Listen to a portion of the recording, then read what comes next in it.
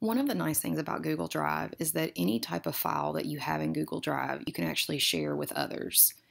And in order to do that, you're going to choose the blue button if you're physically working on the file. So maybe I decide I want to sh share this presentation with a couple of my colleagues. There's a couple different things you can do here. You can enter in someone's email address. And obviously we could put in multiple people with a note about what we're sending them. This pencil right here is giving them the ability to edit the file. So whoever this person is, they'd be able to log on and change anything that's there. If you want the person to just be able to view the file, maybe you're working on a presentation and you want their thoughts on it, we're going to set it here. And then, of course, if they can comment, they also have the ability to view it, so they could give you feedback on it as well. If you're sending out an email, you're wanting to send a document to a large number of people and you don't want to type in their email addresses individually, you can get a shareable link. And a lot of times I'll do this with each unit calendar I have. I would send them out to the parents in a mass email generated from Aspen and I would give them the link to my unit calendar. So once we choose Get Shareable Link, we're going to go right here and we see a lot of different options.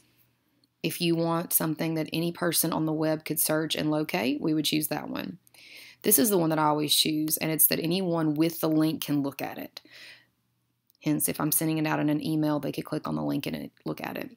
The Knox County School one is perfectly fine, but think about all the people you may have looking at this document who aren't Knox County Schools users. So anyone who's not a teacher, or maybe it's a student who's using their personal Gmail account, they wouldn't be able to do it.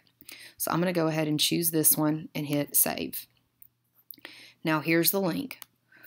If I were to open up that email, I would simply paste that link into my email, and if a parent clicked on it, they would now be able to see the spreadsheet that I'm working on. So that's one way that you can do it.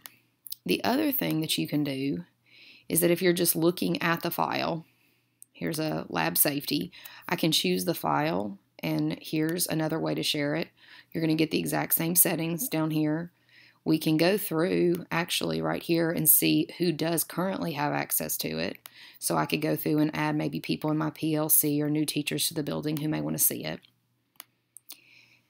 So I showed you you could hit there. You can also do a right click and hit share as well, and it's going to take you to that exact same menu. Remember, get shareable link would be the way that if you're trying to send it out to a large group of people, that's how I would go about it. Again, the, it's going to default to the Knox County schools be able to view. Okay, so we're going to choose more, and then we see we have all those other options.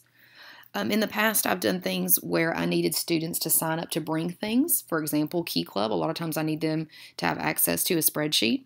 And let me just kind of go ahead and show you what one of those looks like.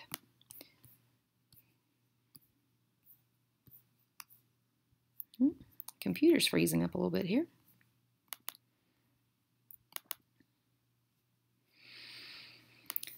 So here's where our students were signing up to work the basketball concessions. And this is something where the students can actually log on to this spreadsheet and you can see here they can type in their name and email information. So to get that sent out to them, again, I used the Get Shareable link. I chose anyone can edit.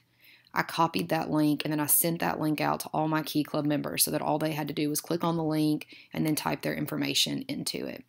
Um, being able to share and collaborate on these files is definitely you know, a lot of people think of Google Drive as a place of storage, and it is a place of storage, but it's also definitely a place of collaboration and a way for you to share files and documents with those that you're working with.